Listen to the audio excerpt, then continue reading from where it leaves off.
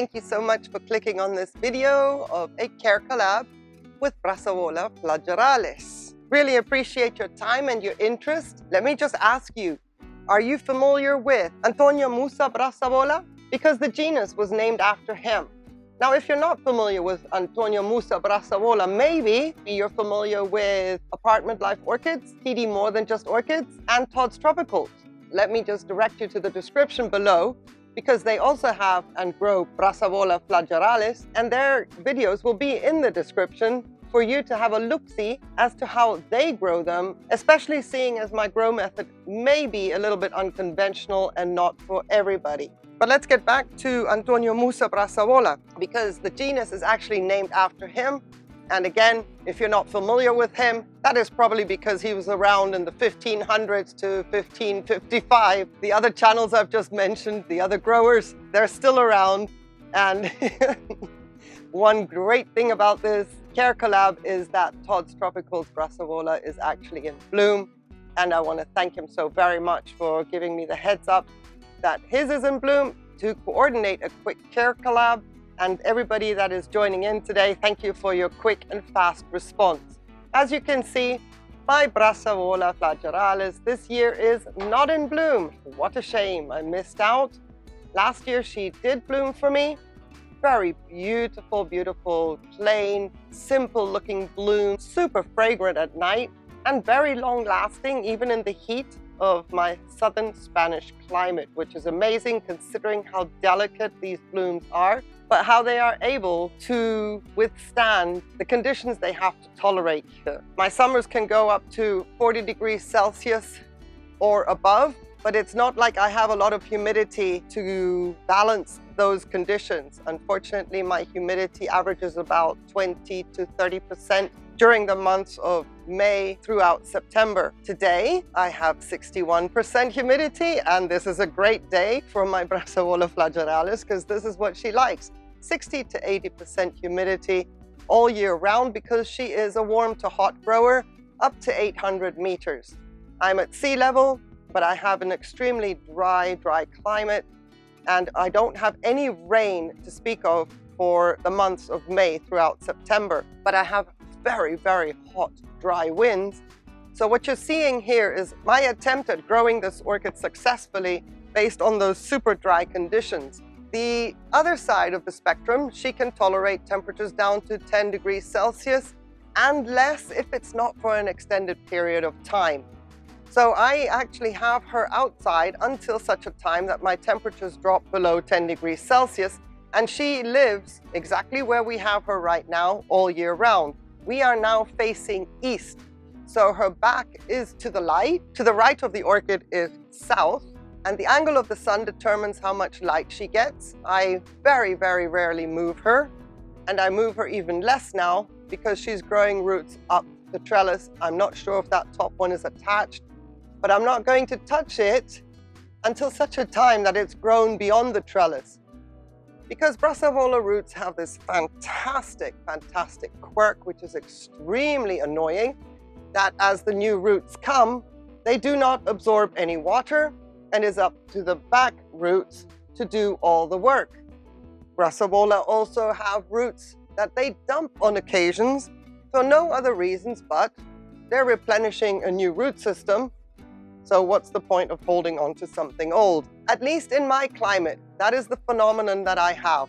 And it's something I have to deal with. And because I'm trying to get away from any form of organic growing, having to change sphagnum moss, in my climate, I would have to water the sphagnum moss every day, several times a day, just like I do with what I've got mounted now and how I have it mounted. And that makes sphagnum moss degrade extremely quickly and Brassavola roots would deteriorate the moment the media gets too acidic. So in my quest to grow inorganically, I'm using hob filter material, which is very, very water retentive. It is sort of the cheap version of EpiWeb. It's also a little bit more flexible. And you can see that the roots actually have no problem going into the material and finding their way through. Now the whole mount as well has a little bit of a back pocket, back layer of hob material because there's roots in there that are being kept nice and humid. And to some degree also growing out. That's fine as long as I have like 80% of a root that is functioning and absorbing water in the hob material. This orchid is doing very, very well and I don't have to be so radical on the misting on a daily basis with the exception of when the hot and dry winds come because I really would like to maintain these gorgeous root tips here. They are not going to find themselves in the hob material anytime soon, if ever. Even when they start to absorb water, Brassavola roots are extremely stiff. They don't bend easily. I couldn't like manipulate them to curve them towards the hob material. So if they don't do it of their own, like that one right there, going in nicely, the other ones will always remain aerial. Eventually the root tips will stop growing. And it is to my understanding and my experience that once a root tip stops growing on a Brassavola orchid, that is when it starts to absorb water. While it is an active growth, no matter how long, they will repel water. Let me show you. This is what I do on the daily. Misting, misting, misting. And because I can do that quite heavily with my hob material in the background, finally I've got enough humidity around this orchid that the roots are getting longer and extending before they shut down and don't manage to get into the hob material. But you can see how the new roots are just repelling that water as if it's got some kind of Teflon on it. So I have no chance of growing this orchid in the conventional way with sphagnum moss unless I change the sphagnum moss every six months, disturb a brassavola root, it will stop growing or it will die. Very, very finicky, I find the root system as such. And of course, there are other ways to grow this orchid. I could pot it up. However, being my first Brassavola orchid when I got her back in 2018, I was learning about her. So I put her into an orchid top with Ceramis she didn't like that at all. I almost lost her. So I mounted her on what was the first mount, which is this grating here that you see like with the Mercedes pattern. That was her first mount and I had sphagnum moss on that. And that worked all right for the first year of 2019 that she had to endure a summer with me. But as the orchid grew, it clearly was not going to be enough because the size of the orchid makes it more demanding. So in the summer of 2020, the whole concept of inorganic growing came to my mind thanks to a genius idea of Michael McCarthy. We were discussing another orchid and he said to use a scrubby pad as opposed to EpiWeb because EpiWeb is super expensive.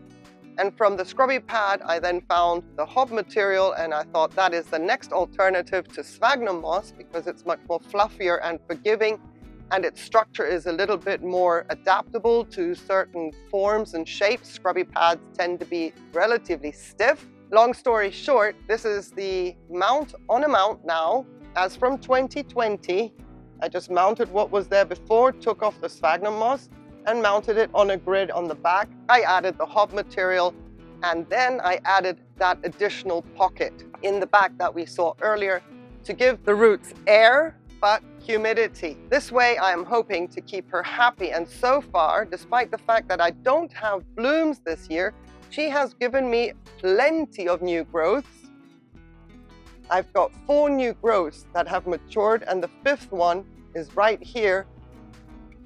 There's another one coming out. So she is growing well and that's all I can really ask at this point in time. And her roots have never been as long as this. In my time with her, they have not managed to hold on. They always used to fail too soon.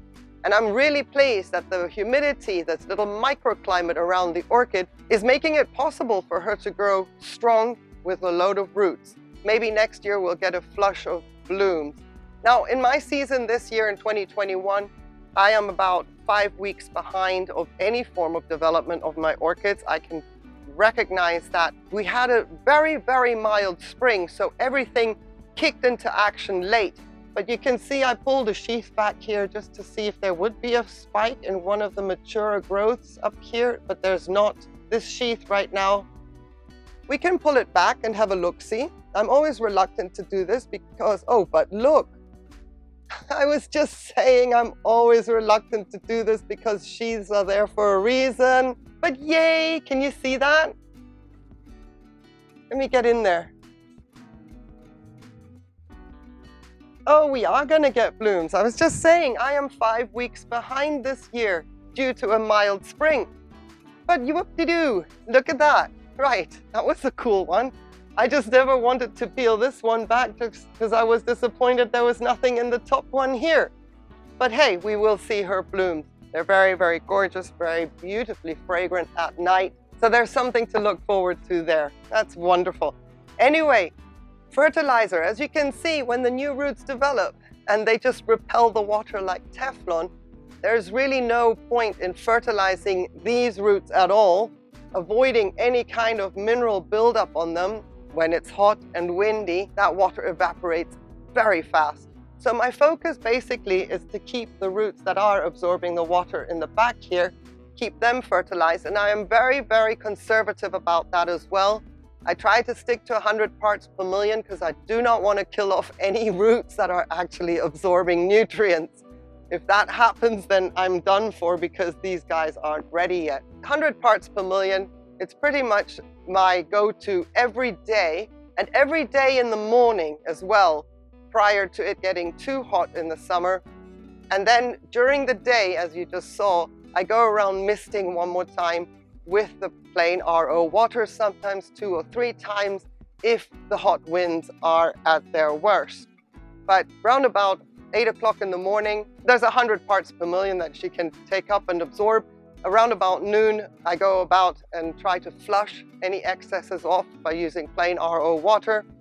And then it depends on the day whether I need to go around one more time. And if I have to, towards the evening, that I don't want to be around the crown or the rhizome of any of the growth, I mist her from behind. I go behind the trellis and I just mist the pocket that's in the back here, keeping that nice and damp. So in the winter, when the angle of the sun drops far enough, it will come in straight at her from this direction. Those are the months from about December through to March. That's when she will get direct sunlight and you can see there is some scorching here when that happens. But it's a gradual adjustment and if she gets too much anthocyanin and I find her a little bit too red, I will move her back a bit, as in back behind us in my blooming alley, where she will not be exposed to direct sun. Basically, I rarely, rarely move her.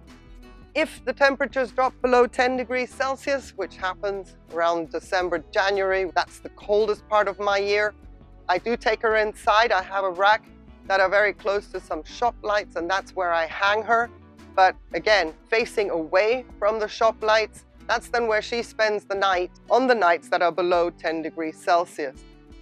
But normally she lives here all year round. I don't have much fuss with this orchid. Now that she has her microclimate all set up and dialed in. And we're gonna get some blooms. Super exciting. I'm really glad that I did check in the end. I'm just hoping that it hasn't bent in too much which can also happen with Brassavola spikes when there's not enough humidity around. Let's not be overly, overly happy, but at least it tried. If it doesn't bloom, at least it tried. So yeah, Antonio Musa Brassavola, physician and botanist. In honor of him, we have this gorgeous genus. And now that I've figured out its little quirks, I'm quite happy to, to say that I haven't killed it. It was a close call in 2018 when I got her. I'm not entirely sure if I've covered everything, and if I haven't, and you would like me to clarify something, please leave that in the comments below. Very much appreciate your time. Very much appreciate Apartment Life Orchids, Todd's Tropicals, and TD More Than Just Orchids as well for jumping on board and let's go and have a look-see what their Brassavola flagellaris is doing, especially Todd's we are going to see some blooms in this series. Thank you for watching my video. Hope that you found this useful and I hope to see you in the next video as well. Have a wonderful day, stay safe and take care. Bye.